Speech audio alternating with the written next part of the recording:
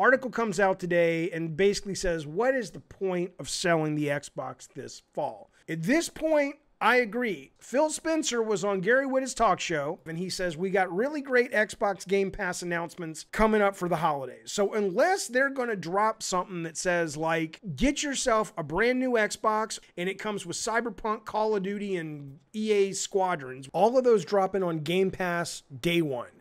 I mean, short of them doing that, man, I would delay this fucking thing. And I'm a fucking fan. I'm a fucking huge fan of Game Pass. I played Wasteland 3 all weekend long. I would have never tried to play Wasteland 3. I would have been like, eh, it's too slow. It's too fucking slow. I, I loved it. Without Game Pass, I never would have played it. There's a brand new game came out today that IGN gave a 10 out of 10 to. I mean, seriously, if you want to look at ratings right now, Microsoft Flight Simulator got a 10 out of 10. This game, this something Kings strategy RPG just got a 10 out of 10, getting amazing reviews. I think it's sitting at 91 Metacritic right now. That's 10 out of 10. That's Game Pass day one. If you want to look at like who's coming into Christmas with the best rated games, it ain't Sony. But problem is none of those games are really mainstream. They're not going to set the world on fire for people this Christmas who are trying to figure out do they want to support Microsoft or Sony with Ratchet and Clank and Miles Morales. So they need some bigger marquee titles that in essence you get for free if you buy an Xbox this Christmas, an Xbox Series X specifically. Because otherwise, why would you buy that hardware? Just look at this anemic launch lineup.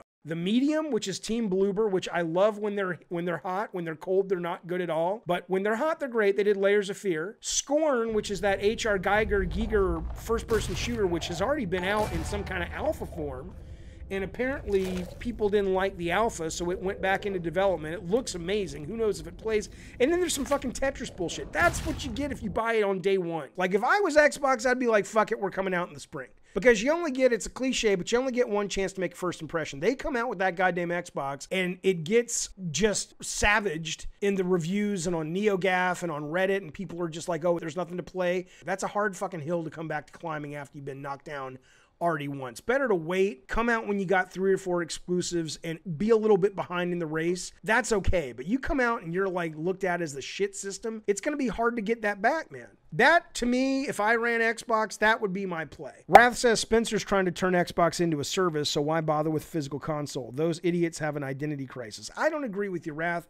I think what they are doing is innovative, bold, forward thinking, and potentially reflects the future of the industry in terms of Game Pass. But yeah, is the console really what we need right now from them? Perhaps not. We'll find out.